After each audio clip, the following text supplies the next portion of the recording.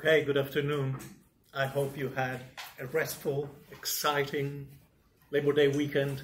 This is week two of this class, CCS 325 on automobile and society. If you're new to the class, if you just added, or if this is your first day, make sure that you know where the class material can be found.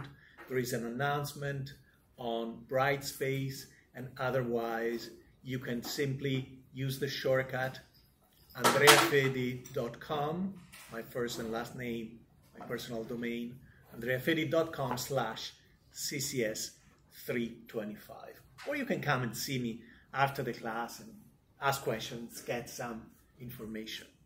You know that in this class we focus on the representation of the automobile as both a modern technology, modern in the sense, in a sense that we understand, that is to say, a technology that goes or appears to go beyond its utilitarian function to represent or perform so much more for its users or owners.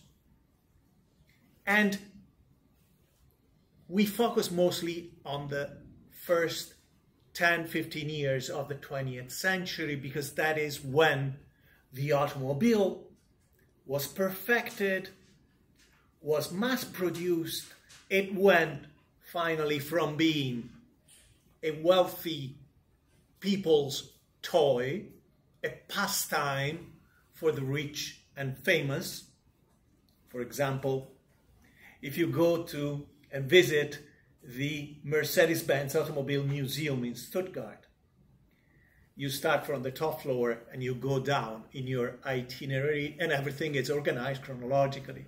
The first thing you see at the beginning of your itinerary, it's a uh, giant model, a one-to-one -one model of a horse with a writing underneath that reports a famous statement by the Emperor of Germany saying, the automobile is a fad. The horse is going to stay. The automobile will pass. So we will focus on the period, the documents, some of the silent films from the early 19th, 19th century where the automobile became what we still, at least in part, think of it. Before we get to it, we are going to look both at the history before the automobile of transportation and mobility related technologies. And on Thursday, we're going also to look at the future of the automobile.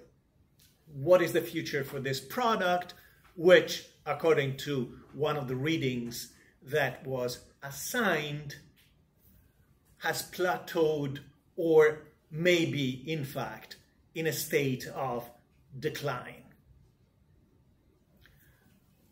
There are two presentations that I'm going to use today. One is called Before the Automobile.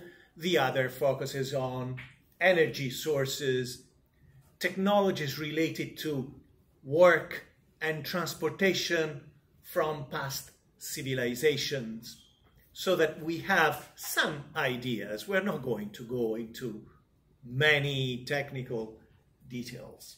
So that's the focus of today. On Thursday, I will talk about the future of the automobile. We will devote one more session to the film The Love Bug on Herbie, the sentient uh, Volkswagen Beetle 1963 Volkswagen Beetle. And keep in mind that the first written assignment is due Friday of this week. And uh, I, I, can answer questions now. I'll talk more about the assignment on Thursday to make sure that you understand the instructions. Of course, being the first assignment, if there is any misunderstanding, um, I'm willing to be flexible. We'll start with a statement from Enzo Ferrari, the founder of the Ferrari factory and brand, which is one, not only one of the most famous, but one of the most valuable brands in the industry. And Ferrari, who was really in love with the automobile, the automobiles were his whole life. He was an orphan, orphan, meaning that he lost his father when he was young and sold his family home to buy an automobile and race. He was a race car driver, also not very successful. Became much more successful in the 1920s and 30s as manager of the Alfa Romeo Scuderia. That was his first Scuderia. In order to manage that team, the official team, he had to sign a non compete agreement.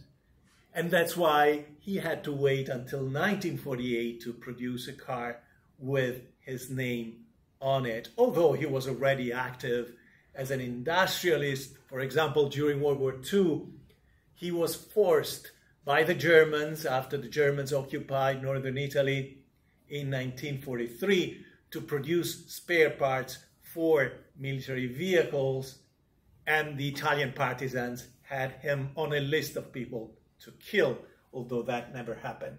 So, what did he have to say about the origins of the automobile? He said everything starts with a wheel, and he used to say, even though we don't know who invented the wheel, we can guess how it happened because if you look at nature, there are plenty of flowers and other plants that roll.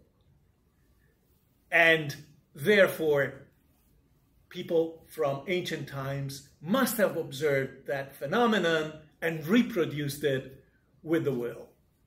It's a bit of simplification, right? Because there is no will without axles, right? It's the combination of will and axle, as we will see in a moment, that really makes it possible for the wheel to be used to transport humans or products of any kind. It's that kind of basic machine that we have to look at. We know that by the year 2500 BC, and probably much sooner, the wheel and axle invention had been applied to carts. And here, of course, we see a military cart from Mesopotamia pulled by a kind of ass that was present in uh, Asia. Okay. I was talking about basic machines. This is a definition that goes back to the Renaissance. The Renaissance was into technology. They also studied and retrieved from uh, archives a lot of texts from antiquity, especially Latin and Greek texts. And there they found plenty of references to technologies of the past. And through their own observations and the study of those technical texts from the Greek and Roman civilizations, they came up with this interesting group called the basic machines and this idea that all complex machinery is based on a combination of these of some of these basic machines. Um, in, within this view of technology, a simple machine is a machine that produces an advantage. That is to say, that amplifies or makes it more efficient to apply the application of force, of energy, right? So you have a multiplication of energy or that energy is redirected. And once you change the, director, the direction of energy, then you get some advantages in terms of the way you can handle this machine and whatever is connected to it. And you find the six uh, basic machines. I also linked an article from Wikipedia just so that you have a basic idea if you want. Of course, you have the most basic, the lever. You have a wheel and axle, and I like the fact that they didn't put a cart in here because wheel and axles cannot be find, found just inside carriages. For example, in this case, you can see that you find a wheel and axle also for a well, right? To move up and down a bucket and bring up the water. The pulley is another great example of the basic machine and even inside the pulley you find a wheel and axle if you look at it, right? You have a wheel that spins around an axle. You have the inclined plane, plane and in fact last week we talked about trains and I mentioned passingly how rails were invented and used in England and other places long before trains were introduced. And it was found advantageous to use inclined planes with rails to go on a steep hill or incline. The wedge is another simple machine and the screw as well, right? Which has this incredible ability to lock uh, and, and move things in different ways. In terms of the invention of the machine, you often find this popular idea that the, the automobile was one of many inventions of Leonardo da Vinci. Leonardo da Vinci himself a great famous representative of the Renaissance that we mentioned before because Renaissance scholars came up with the idea of simple machines and there were plenty of engineers. Now, this is a misconception, I'm sorry to say, the same way that you cannot say that Leonardo invented the parachute or scuba diving apparatus or the helicopter uh, or the machine gun. For one thing, we know now, and this is a recent discovery, for example, most of the notebooks left by Leonardo were only uh, found in the early 1960s. And at that time, we didn't know much about engineering during the Middle Ages.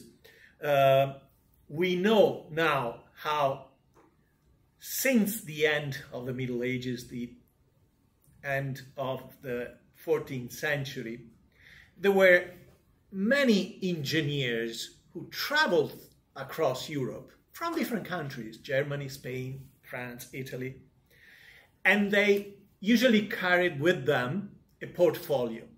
They were moving from place to place wherever there would be someone, a wealthy patron, politically powerful person, or someone wealthy who would pay for their services, and they would show this portfolio, which included more or less the same inventions we or some attribute to Leonardo, a parachute, different apparatuses to go underwater, different kinds of flying machines, different kinds of weapons, similar in some way, in some ways to the modern machine gun or to the modern tank.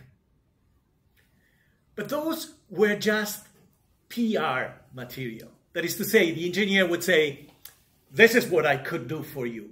They were not blueprints. It's not like they could make a parachute. They were saying, this is an idea that I could realize with funding.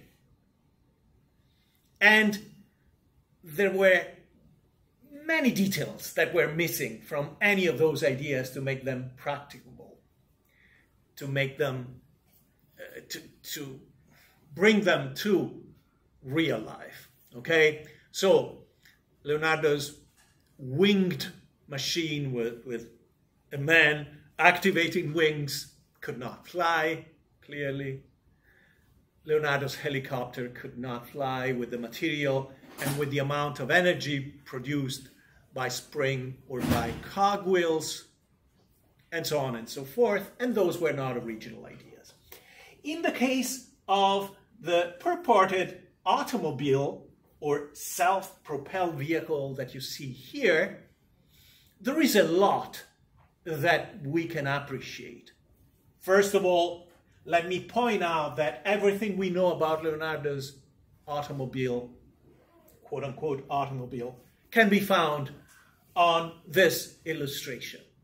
Again, we don't have complete blueprints, and you can see that there are many parts that are missing. For example, there seems to be the option for directing the vehicle with a front wheel and a, a, a bar to steer the vehicle, but it's not fully uh, uh, drawn, right? In fact, even though you can find museums or touring exhibitions, one came to New York 10 or 15 years ago, with models of this, these models were made by modern engineers, and modern engineers had to finish the alleged automobile by Leonardo. You can even find videos, you can buy a kit and make your own model about this big of Leonardo's automobile. And on YouTube, I produced, I included a link. You can find videos of this thing going around. Again, not enough was known about Leonardo until the middle of the 20th century. We've known more about Michelangelo, Raphael, other intellectuals and artists, but not so much about Leonardo's life. We know more about this now. We know that this so called vehicle was made in 1478 for a theater performance. It was a religious drama of some sort. And at some point, probably in response to a request by a faithful or a saint, the Madonna, the Virgin Mary, had to appear on stage. Leonardo, who was well known since his youth for the production of toys, for example, Vasari in his Life of Leonardo tells us how Leonardo made a flying bird. And that's fine. You can use springs and cogwheels for a small flying birds, which you also saw, may have seen in a TV series about the Medici. So in this case, they went to Leonardo and they asked him to produce a machine on which a small statue of the Madonna, probably made just of plaster, so not something heavy, made of marble, something considerably light, would be placed on this machine as you can see, the machine has uh, uh, different kinds of cogwheels and springs, so you can load the springs. And then, when the time came for the so-called apparition on stage of the Madonna, this theatrical machine was activated simply by pulling a cord. The cord would release the locks on the springs, and the machine advanced just a few feet, 10 feet, 15 feet, from backstage or from the side of the stage and to the center of the stage, and people would ah, gasp, right? And we know, again, that Leonardo did similar things. For example, Vasari himself, in the previously mentioned Vita of Leonardo, tells us how, after Leonardo moved to France, he made a lion made of wood with a mechanism inside that, once activated, could advance a few feet, moving closer to the King of France. Then, at that point, a secondary mechanism was activated by springs. The chest of the lion would open. Imagine the lion just on its hind feet, hind legs, and from the open chest, a bouquet of lilies came out because the lily was the symbol of the French monarchy. All simple things. So Is this the first automobile? It isn't. Is it a functioning self propelled vehicle? Yes, it is, but nothing more than a toy, and it could not really be scaled because there is only so much energy you can store inside the springs in here. And given the fact that this would be done with wood, even if you pick a light kind of wood, you have too much weight to send this kind of vehicle on, on over a distance of more than 10, 30, 50, let's say 100 feet. Again, not practical, right? You cannot imagine being on the road and having to load springs um, every time you go from here to the end of the classroom. So, a theatrical prop and not really an automobile. So, let's dispel the myth that Leonardo invented the automobile. The consensus is this is that this model, this is not the original, this is a model that you see here from a museum in Paris, can be considered the first self propelled vehicle able to advance, driven by a crew of one or two over a substantial distance. As you can see, it's a tricycle. It's made of very hard, thick wood. It was made by a French engineer for the French army. The load on the back of this vehicle was supposed to be heavy artillery barrels, right? The heaviest part of artillery is the barrel itself, especially because in the past engineers were not so able, were not so good at calculating the resistance of the metal, so they made intentionally the artillery thicker to prevent the barrel from coming apart when the gunpowder exploded to propel the projectile out of it. And given that there is a lot of weight with the front tank and the engine, whenever there is no artillery in the back, you have to place ballast. In this case, there are working models, a few of them, and you can see them or you can find them on YouTube. I, I included a couple of links this vehicle could advance at a speed of between two and three miles. So it was not about speed, it was about efficiency, simply because in order to carry the same weight, you, have, you would have to have a carriage, and in front of it, you would have to have 6, 10, 12 horses, right? In this case, in front, you have a steam engine. So uh, you don't see, if, if you if you go around this model, then you would see the opening where you can load the coal. So the first part of this container is for the coal. The coal is ignited. Of course, the upper part of the container contains water. Of course, you have to wait some time for the water to boil and produce pressure. And the pressure of the steam produces the movement of these pistons that activate the front wheel. Two or three uh, of these carriages with a steam engine were produced between 1769 probably and the following few years According to tradition, one of them crashed into the wall, into a wall, which is understandable because clearly this thing is not easy to steer, given the weight uh, of, of the front apparatus. Although, if you think of the speed, it's kind of an Austin Power situation. And I, I don't know if you you guys, you young guys, know about Austin Powers, but there is this famous scene where uh, an actor is about to be hit by a vehicle which is a, a, a roller uh, uh, used to, to pave streets that is going at about a mile per hour. So it's just there saying, ah, ah, ah, until it gets run over, but all happens very slowly. So the speed is such that how can you avoid a wall? Anyway, not avoid a wall.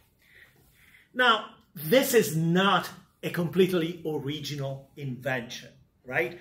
The steam engine applied to a carriage is one of those ideas that popped in different areas for sure. So the French example is one that we know enough about, and we hear, we know that there were other attempts at this kind of vehicle in various areas of the world. We just don't have enough evidence about them. So, for example, we know something about an experiment conducted in China with the help of a Jesuit missionary who put together local knowledge with imported knowledge to make some kind of steam engine vehicle. This is just an attempt of at imagining the vehicle. It's not a reproduction. And you can see that it's very crude technologically. You have an open fire, which you don't want to have right? It, it's dangerous enough to have it in a closed container. You don't want to have an open fire on a moving vehicle.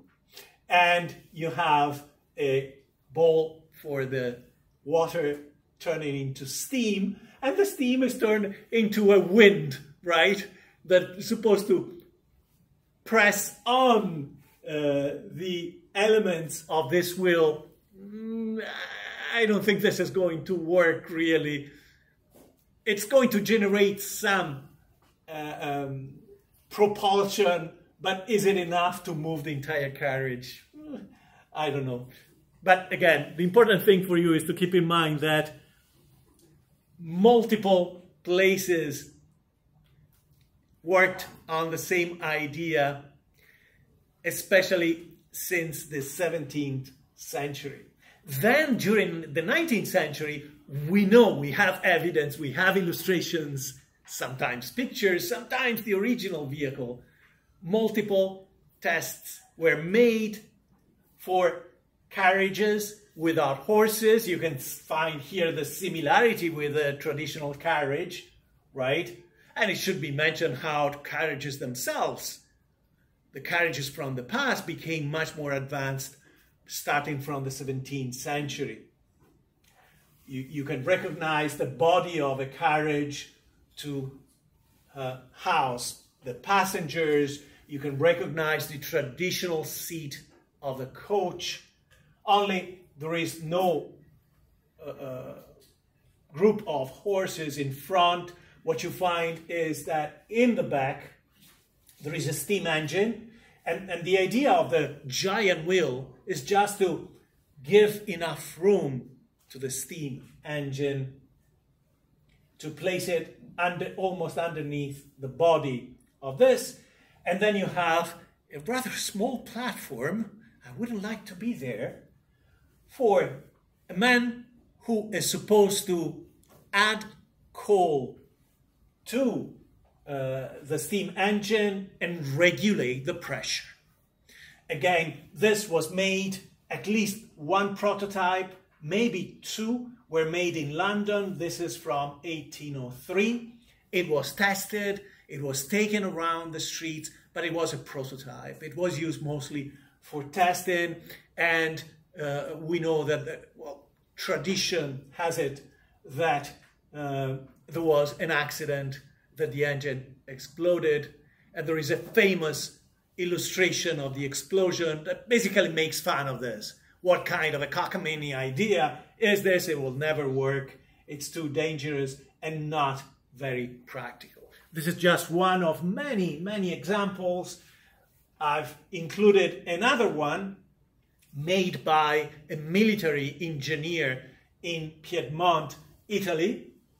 And once again, you see a huge steam engine in the back with plenty of coal to move this vehicle for a long time. And the rest of it, the wheels, the suspensions, the body, the front seats, everything else is pretty much basic, traditional components for carriages. In this case, the original has survived and you can find it. It's beautiful, it's huge. You can find it in the Museo dell'Automobile in Turin. Uh, when you enter the museum, you find this. They also have this, this screen uh, showing the traditional carriage, big image with horses, and moving to this kind of vehicle. Now, better than the illustration from London, which we don't know how accurate might have been, in this case where we have an actual example, you can have a better idea of the great size of the steam engine component. Size and of course weight, right? So you need to balance this with enough passengers and crew in front. But you can also see that there is a basic issue of practicality when you have to attach such a big engine, which needs a crew, at least a crew of one, to feed the engine with coal, if not two, you see the lack of practicality of this idea. And, and therefore, even though you find plenty of prototypes in different places throughout the world, you don't find a series of these machines being made or operated for a long time.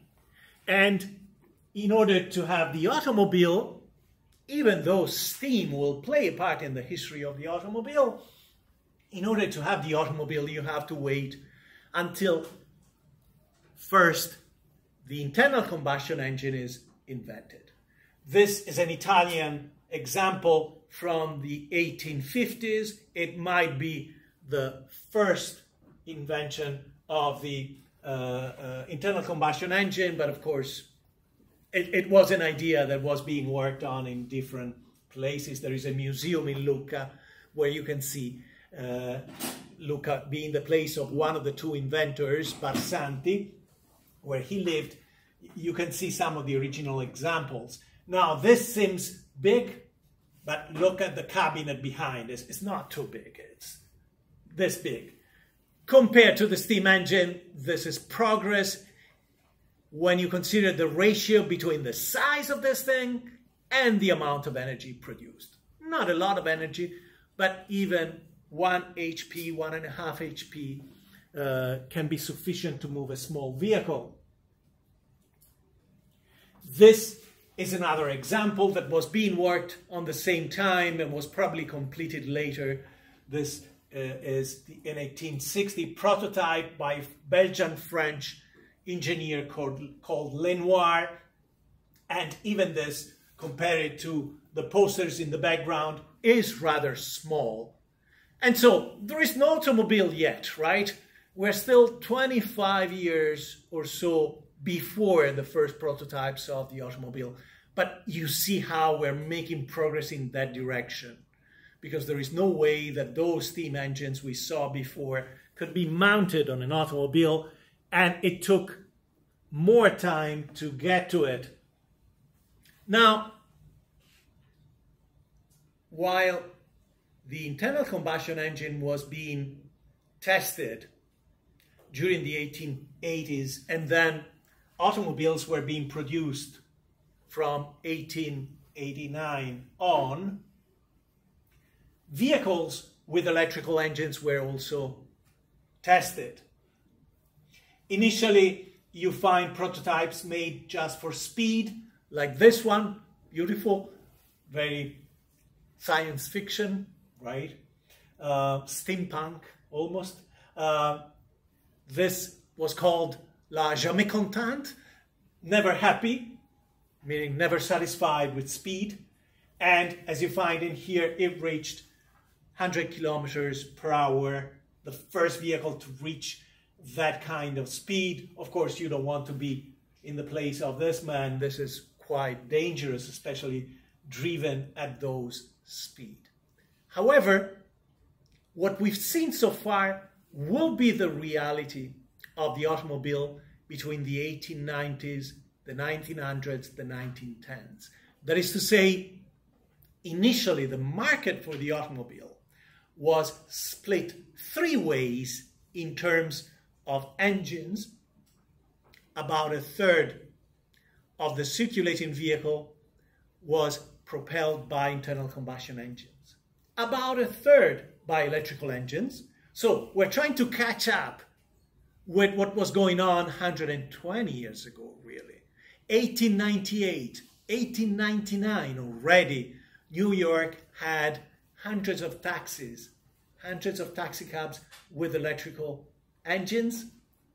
And they developed a simple system that is now being experimented in Asia, not yet in here, whereby when a taxi cab was running out of charge, they would go back to their hub in Manhattan, unload the discharge batteries, load fresh batteries, and the hub would be charging the batteries instead of having to wait for 30 minutes, an hour to recharge your, your electrical vehicle. So I was saying the fleet of cars operating found on the streets of the US in the period 1900, 1910, 1915 would be a third internal combustion, a third electricity, a third steam engines. Now, you could tell me, Professor, you just told that steam engines were not practical. After, actually, the automobile was invented, engineers went back to the idea of steam engined vehicles and borrowed some of the ideas from the evolution of the car to make those steam engines smaller and more efficient. And in fact, automobiles with steam engines were produced well into the 1920s. And uh, you may know how the foremost collector and one of the experts on these vehicles is Jay Leno, the comedian, late night TV host who has quite a few of them and takes them out routinely, although he himself has suffered a few accidents. In one case, he got burned because a steam engine vehicle he was driving caught fire. He dismounted the vehicle, but before he could get away, the, the flames uh, burned his hand and, and forearm. Because clearly, you still have the impracticality of a flame underneath your vehicle, a live flame. You have a lot of pipes that with time get corroded because there is very hot water running through it, through the system. And you still need, even with best the best uh, steam engines, you still need to wait a little bit. By the 1900s, the wait time was reduced to a few minutes, but you had to wait a few minutes before the steam was produced in order to get your vehicle started. And since we talked about Leonardo, since we are talking about inventions during the 19th century, don't forget that throughout the whole 19th century, while people were testing steam engine vehicles, vehicles with electric with electrical engines, vehicles with internal combustion engines, there were also other engineers were also working throughout this whole time on the idea of the bicycle. And the first bicycles without pedals were introduced in the early 1800s without pedals, without suspensions. Then pedals were added, still no suspensions. In fact, they were often called bone shakers because you, you can imagine the effects, especially with no rubber tires before rubber tires were introduced. But by the 1880s, the bicycle was perfected. So the really, during the 19th century, the first machine because in some languages, the machine was the bicycle. The machine par excellence. The first of these transportation vehicles that was perfected was the bicycle itself. By the 1880s, the bicycle was perfect, meaning that between 1886 and now, the only changes in the bicycles have been lighter metals for the chassis, better wheels, slightly better aerodynamics, and of course the inclusion of an electrical engine. But in terms of the invention itself, no great changes have been applied after the 1880s. So the bicycle was the first machine. Again, the bicycle is found sometimes in the lists of alleged invention by Leonardo. This comes from one of the notebooks by Leonardo. However, Leonardo never invented the bicycle. What you see in here is most probably a forgery made by a scholar. I believe that, other scholars believe that, uh, um, historians of technology. Uh, you can see how there are two different kinds of ink, a dark ink for the circles of the bicycle and, and some of the parts, and, and then there is a reddish, brownish uh, ink or pencil. This uh, illustrations was never seen until the 1970s because it was found, uh, a scholar, an Italian scholar, Marinoni, found that two pages of a notebook were glued together. This manuscript was in the hands of friars, belonged to a convent. He asked permission to gently open, unglue the two pages. He managed to do so, and later he claimed that he had found this. With all probability, what he found was just the initial circles and some cogs for a the beginning of an illustration because Leonardo constantly drew cogwheels and he, the scholar, made a bicycle out of it. How can we say that? Because this is a perfect bicycle. There are no other bicycles in any of the notebooks by Leonardo, in any of the documents from his era, whereas, as I said before, we have plenty of parachutes from that era and even earlier. We have plenty of flying machines from that era. We have plenty of tanks, helicopters, etc.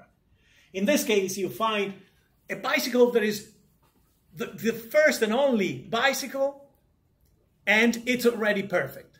As I said, the first bicycles called Draisines were without pedals, right? You just use your feet to advance it like a scooter. And in here you find everything. You find wheels with spokes, you find pedals, you find a chain going from the pedals to the back wheel, you find the handlebar, you find the seat.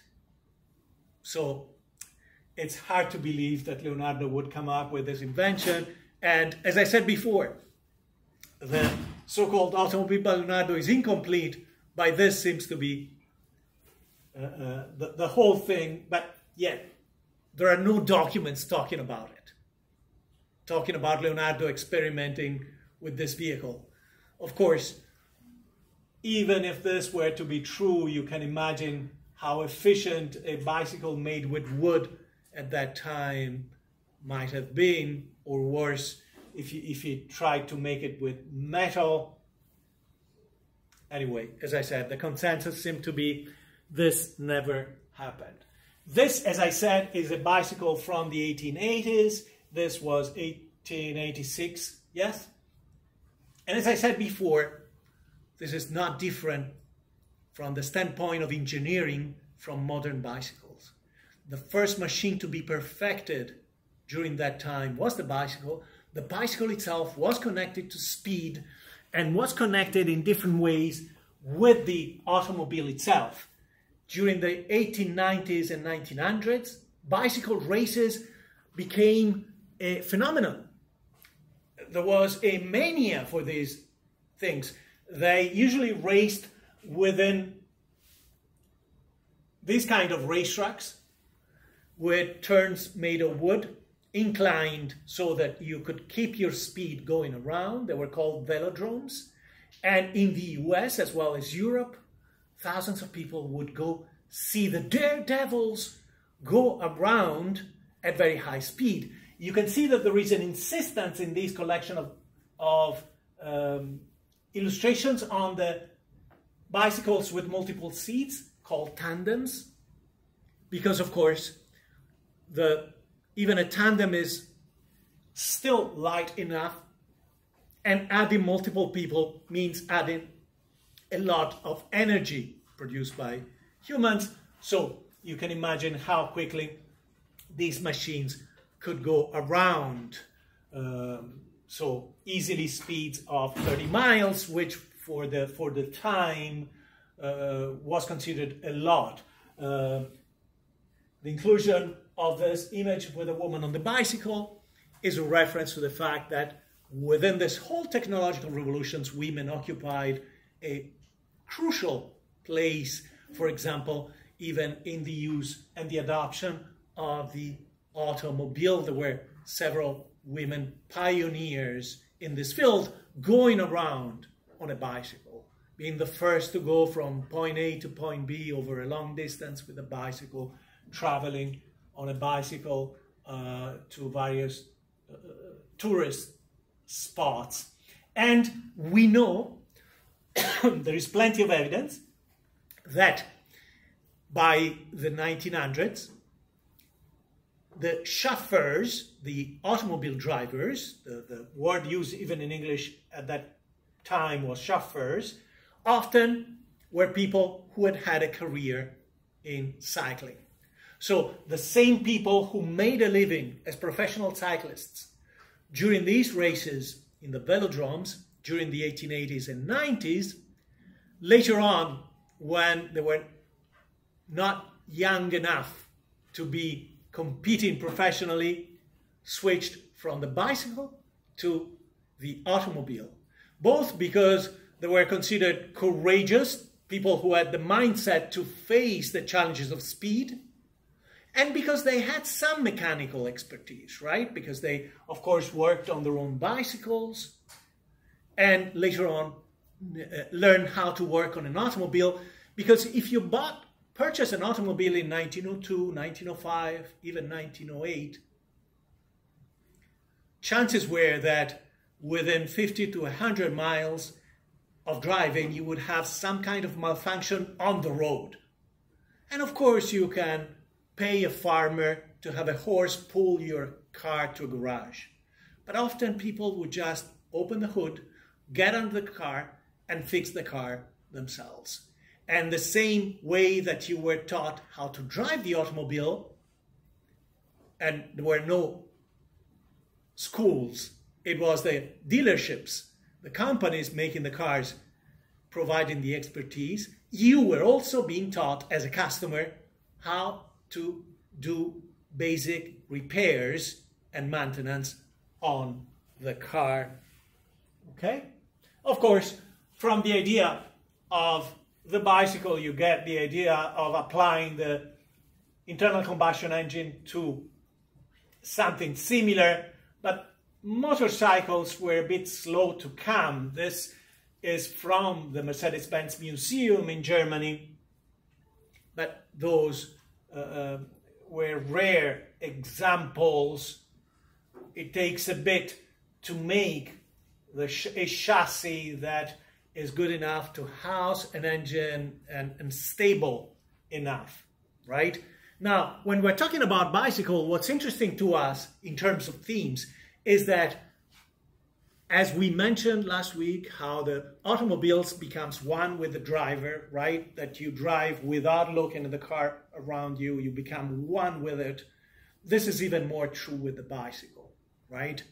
In fact, you know how when you reach a certain speed, in order to turn the bicycle, you don't use the handlebar any longer. You just do that when the speed is very, very low. But otherwise, you just move your body in the direction of the turn, right?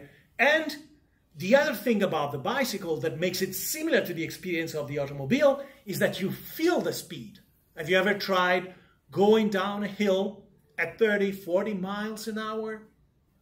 You can really, it feels much faster than any car driving down the same road at the same speed.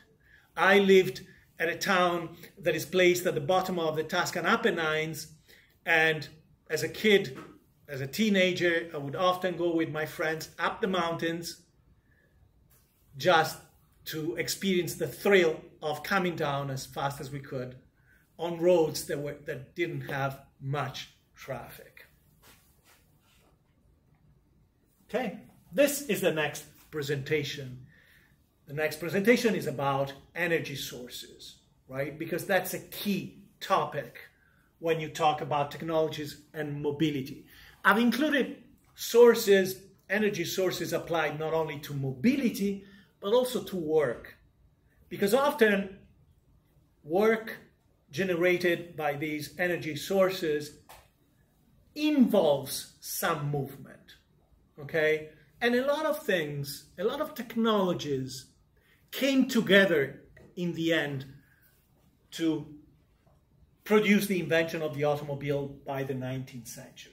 So we're going back in time. I've selected only some of the information you find on the page in the class wiki. So look at that and there you'll find more notes, you'll find links, etc. Right now I want to focus on the main thing and you don't have to remember all the details, but just to have an idea.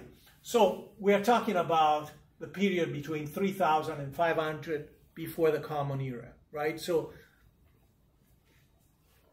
before the period leading to, let's say, the creation of the Roman Empire, for example. What are the main energy sources in order of priority, of relevance? The most relevant is humans, right? So pyramids were built by humans mostly, not by animals. And humans were used to move all kinds of products right? Of course, you find animals of all kinds being used as energy sources. The horse is the main one because a horse is really robust and strong animals, We've lost a sense of how strong a horse can be. We, we imagine that our big trucks uh, are, are the, the stronger, but, but in fact, two horses, six horses, uh, or, or more can carry huge loads. Horses can travel over a long distance, can sustain a speed of five to 10 miles for most of the day, etc. Water itself is an energy source. I'm not talking about the fact that you have boats on the water. I'm talking about this angle for water that around the world in ancient times, you have the realization that if you have a river or any stream of water and the current is strong enough, you can put something in the water, can be a log that you've cut, can be some pontoon or barge, and the stream itself will carry up to a certain point will carry your materials or humans down the river. Okay? Fire was, of course, a source of energy. Initially comes mostly from burning wood. Then, of course, you have winds, but I should have added, I'll add it later, that when we're talking about ships moving on water, it's not just the wind that moves those ships, because especially for ancient times, you have humans on board those ships rowing, right? They were not good enough with winds to be completely independent. And then you also have, but this is connected to this point about the water, gravity and pressure, right? Which you can exploit to move, for example, water along an irrigation system or an aqueduct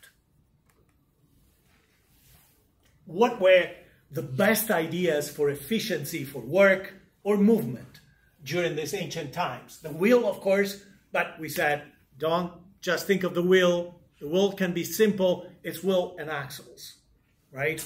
And of course, you're you're the, the complete opposite of a boomer like me, but I grew up in a time when kids would still try to build their own carts to go downhill somewhere.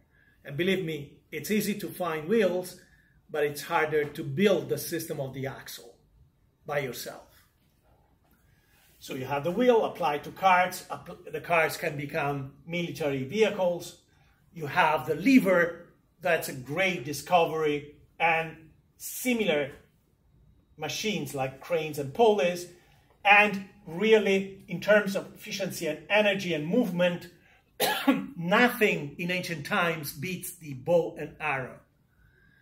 The energy, the speed of an arrow by uh, uh, expelled by a well-made bow is really incredible, right? Even a simple bow and arrow can pierce metal, for example, right? And of course, from the point of view of society as a whole and the strategic relevance of these things, clearly ships, carriages, horses were the things that made civilizations powerful during this time. And for every period, I've added a section called known but not fully exploited.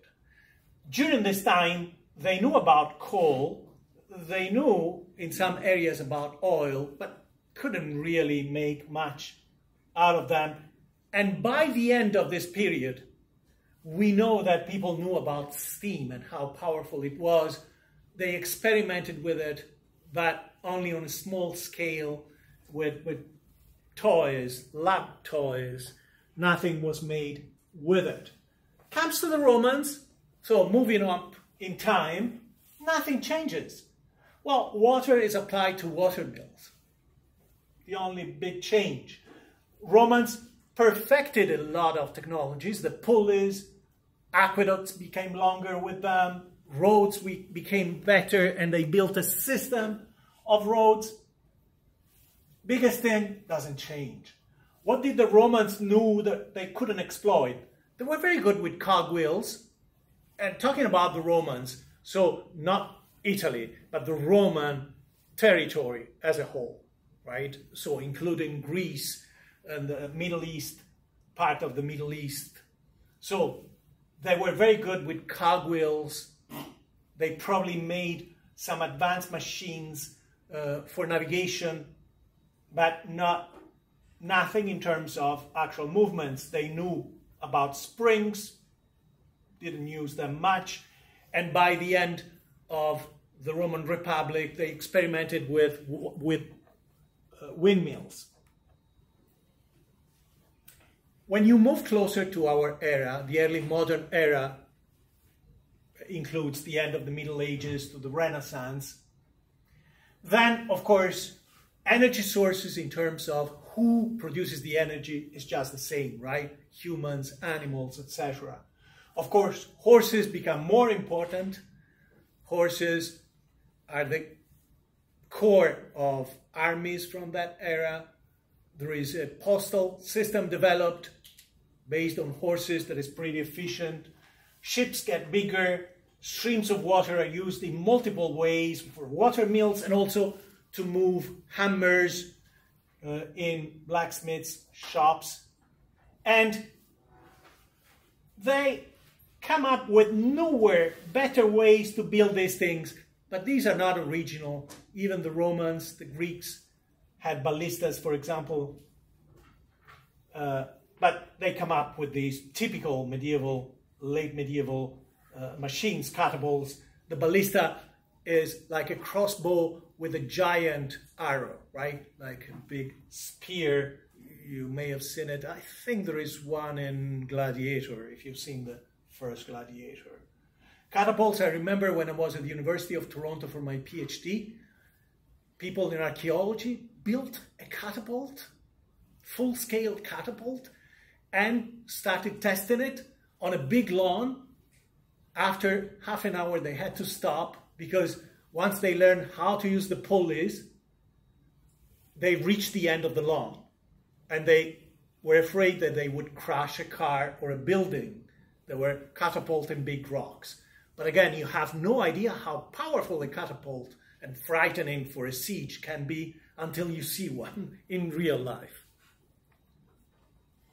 Biggest thing in the modern era, of course, chemical compounds. You know about gunpowder, which produced firearms, and the most frightening weapon of the time, artillery. Sometimes just showing cannons was enough for a place to surrender. But you may not know that they use flamethrowers in the battlefield, and they knew about this secret weapon called the Greek fire, which was like modern napalm, a compound that can burn even in the presence of water. So great for naval battles and overall frightening because if you have some of it on you, throwing water on you will not extinguish the flames. Now, moving past the Renaissance, coming closer to the uh, see that the the watch in the back is about 22 minutes slow. Um, but coming closer to the industrial area era, what are the energy sources for transportation and work? Same as before, humans, animals, ships, etc. Of course, you have the addition of coal to use, operate steam engines, and then some use for oil and natural gas. What's the newest tech during that era? Now things are going to change dramatically because you have the steam engine. With the steam engine, you have factories, factory machines moving stuff, helping, assisting with production. Gas is being used for lighting, lighting, and once you get lights uh, in the cities with gas, an entire society, a set of practices change. People use their life, their time differently. Even their, the sleep changes.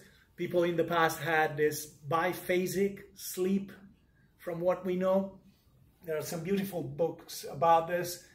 People would go to bed early, then wake up, wake up, work or read for a few hours, then go back again. This all changes. Electricity is being applied to the telegraph and then to lighting. Of course, you have electric batteries invented by scientists such as Alessandro Volta, and they know a lot about electromagnetism. And you have, as we said, as we saw last week, trains and steamships, the bicycle. Don't forget about that as a big tech a big change from the past. The makers of changes of civilization, what changes the economy or the power of a nation, trains, steamships, assembly lines, dynamite, don't forget about the invention. Again, the elements for explosives were known already in the Renaissance, and, and but they, the applications were limited. Now you have dynamite and nitroglycerin, that can be used to dig canals or tunnels, right? You just, uh, or for mining, you, you just uh, uh, explode the rocks instead of digging. There are still things that are known but not exploited. For example, hot air balloons were introduced in the 18th century. But again, they were almost like toys. People would go up to see the landscape, some military applications were tried since the time of Napoleon, but mostly to observe the enemy. Later, they introduced the dirigibles, and some transportation took place, right? You know how, well, into the 1930s, dirigibles came from Europe to the US with a famous accident in New Jersey. Artillery became mobile.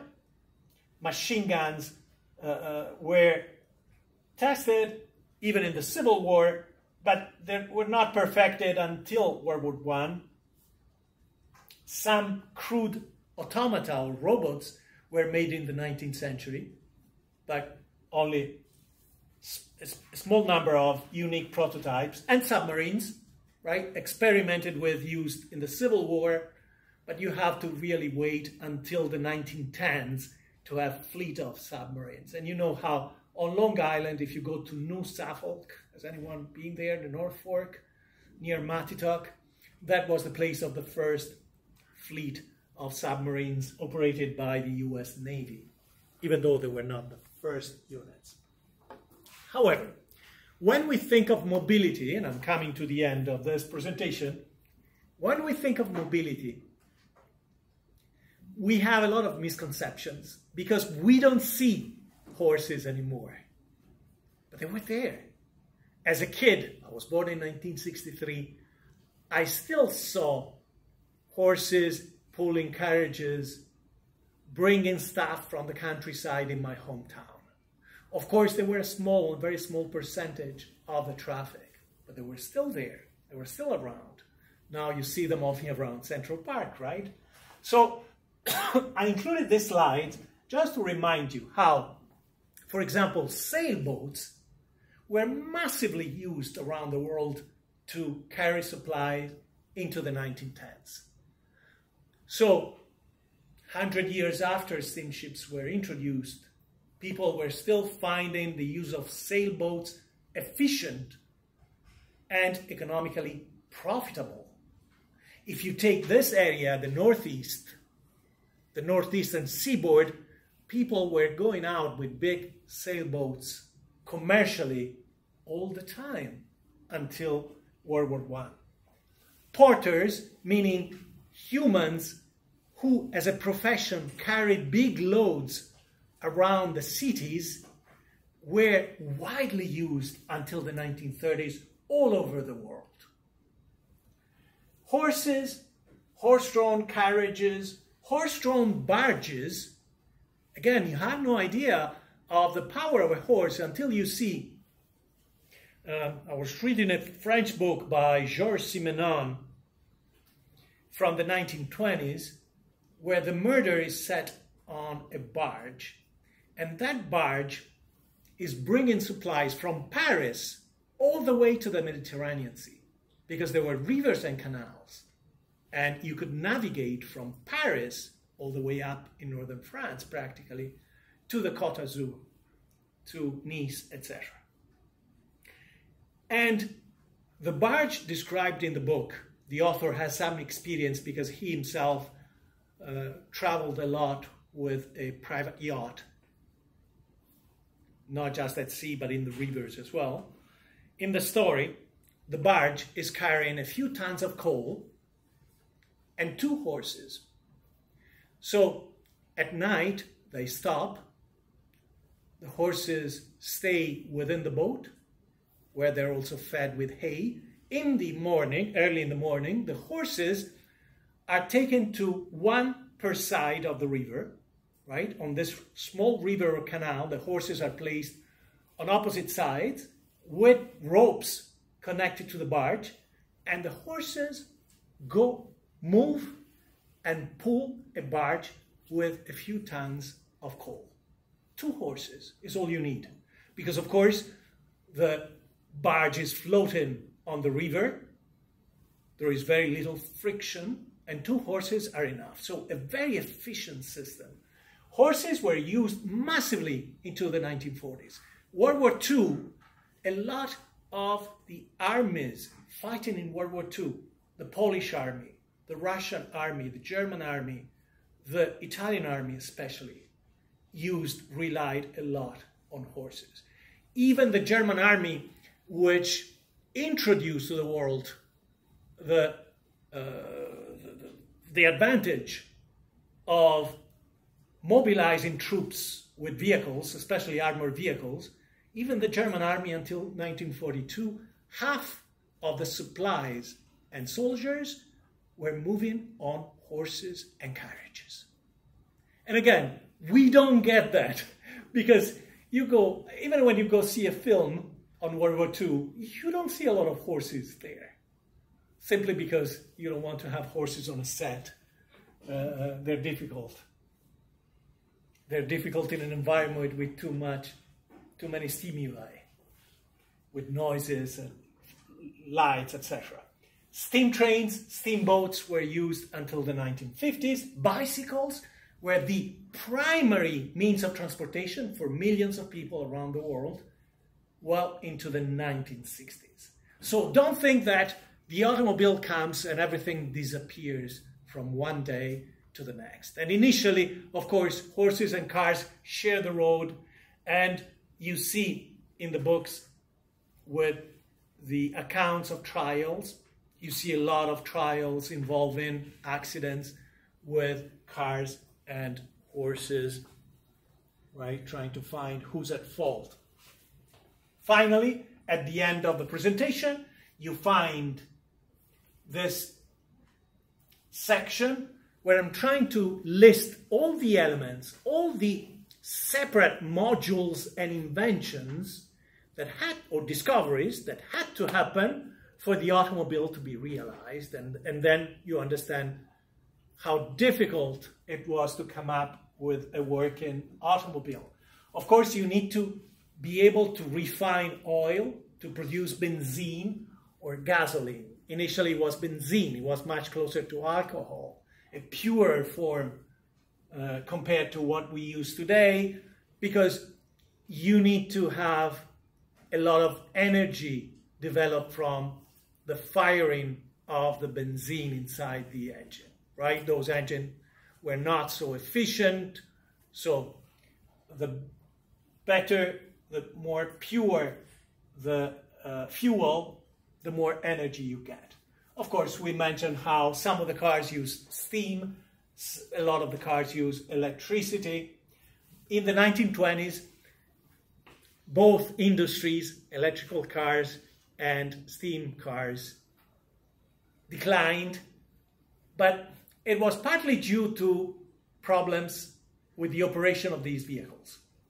By the 1920s, electrical cars suffered from lack of range already. Steam engines, steam cars were difficult to operate. But it wasn't just that. It was also the fact that the rest of the industry, the automobile industry, was good enough to uh, beat the competition and make so that they would disappear, right? And you know how this happens, especially in American society. You need, since you have lights, you need to have something to produce light. Initially, it was oil, gas, then later on was electricity.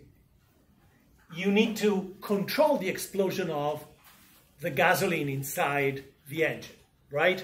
So you need metallurgy that will give you ways to have a small explosion without the car, the engine falling apart. You need electromagnetism because you have spark plugs. Initially, you had magnetos, which can be very fussy, and uh, you need electricity later for the lights. You need to have springs for the suspensions. You need to have different kind of levers, right, to operate. Initially, cars did not accelerate with a pedal. They had on the steering wheel a lever to regulate the speed.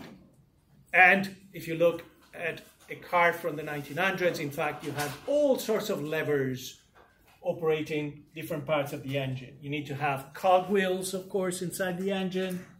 You need to have pumps, and initially cars had some manual pumps. The reason why race cars in the early 1900s and 1910s had a crew of two people was that there was a mechanic on board who was pumping oil and gasoline manually. You need to have rubber, of course. Initially, they use wooden wheels, but rubber presents an advantage. Initially, was natural rubber from South America and different places. Then it became synthetic. You need to be able to cool the engine, to distribute liquids, meaning, for example, the oil for lubrication needs to go everywhere. You need to pressurize the system. You need to have air into the system. You need to think of aerodynamics.